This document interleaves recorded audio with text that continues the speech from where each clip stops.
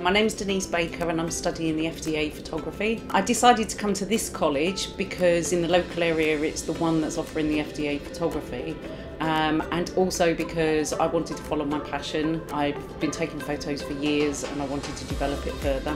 For me, getting into the darkroom is quite special, but in terms of going out, um, uh, I, I, like travel photography, so we're talking about going to, a, uh, to Paris on a trip, and that I would be looking forward to. So far, well, I've loved all of it, but particularly getting into the studio and having access to a studio and getting into the darkroom. The facilities are really good here. Um, they've got everything I could want as a student or need as a student, um, and you know I couldn't ask for more. I think college has made me realise that I can, even at my age, still have a bit of a professional career as a photographer. After the course, um, I want to work professionally, uh, even if it's just in a part-time context, and balance it with other work.